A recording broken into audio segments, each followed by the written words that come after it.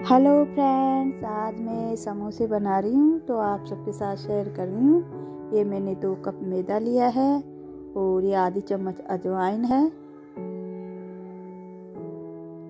ये नमक है, छोटा, छोटी चम्मच। आप कम ज़्यादा कर सकते हो। ये तेल लिया है मैंने, एक बड़ा चमचा। और अब मैं इसको आटे को और तेल जो है मसाले डाले हैं ना, अजवाइन, नमक, सबको अच्छी तरह मिक्स कर लूँगी।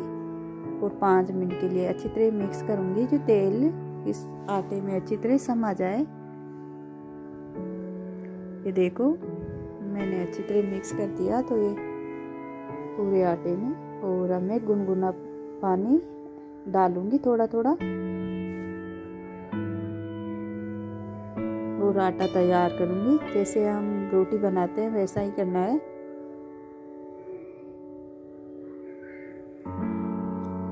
इसमें इसको भूनना नहीं है, बस इकट्ठा करना है। और हाथों से जैसे मैं मिला रही हूँ, वैसे ही मिलाना है। और अब पंद्रह मिनट के लिए ढक के रख दूँगी ये मैंने मसाले लिए हैं। उबाले हुए आलू, उबाले हुए मटर एक कटा हुआ प्याज, ये सूखे मसाले लिए हैं, आधी चम्मच हल्दी, गरम मसाला, हींग, नमक, काली मिर्च पाउडर, अमचूर पाउडर, लाल मिर्च पाउडर। ये मैं इसमें डाल दूँगी। ये साबुत सूखा धनिया इसको मैंने कूट के दरदरा कर लिया था। ये कटी हुई हरी मिर्च, ये प्याज और मटर में बाद में ऐड करूँगी। ये काजू किशमिश। हमें इसको हाथों से अच्छी तरह मत लूँगी और मटर में ऐड करके मिला दूँगी।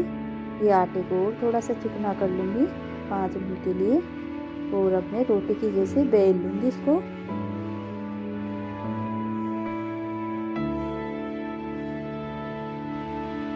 ये तो मैंने रोटी की जैसे बेल लिया। मैं समोसे ज़्यादा बड़े नहीं बनाऊँगी। छोटे ही बनाऊँगी। ये बीच में से कट कर लिया। और अब इस कॉर्नर में इसमें पानी लगा के और इसको चिपका दूँगी। और अब मैं इसमें मसाला डालूँगी।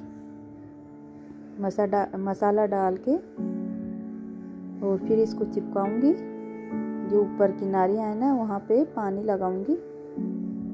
जिससे इसका मुँह नहीं खुले। और ये देखो, मैंने चूनट लगा दिया।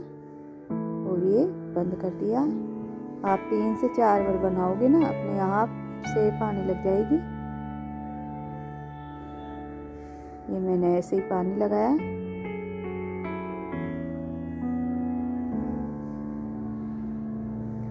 और फिर मसाला डाल के भर दूँगी इसमें।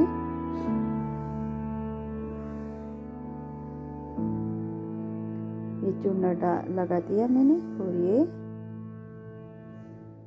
समोसा तैयार हो चुका है। अब ये तेल गरम हो गया तेल मैंने गरम करके और फिर हल्का सा इसको ठंडा करके डाला है समोसे। अब इसकी कलर चेंज हो जाए। हल्का सा जब मैं निकाल लूँगी। ये देखो समोसे फूल गए हैं।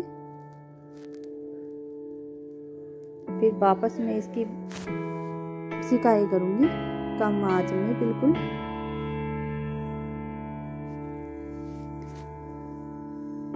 मेरे दस समोसे तैयार हुए थे तो मैं दस को ऐसे ही पहले ऑयल में सबको निकाल लूँगी एक साथ। और अभी देखो, मैंने कम आँच कर दिया, बिल्कुल।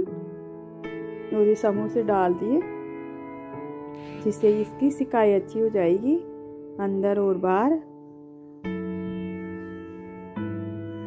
अगर मेरा, मेरे ये समोसे बनाने का तरीका पसंद आया हो तो प्लीज़ लाइक करना। नए हो तो सब्सक्राइब करना। ये देखो समोसे तैयार हो चुके हैं। तोड़ के दिखाती हूँ। अंदर से भी बहुत अच्छी सिकाई हुई है।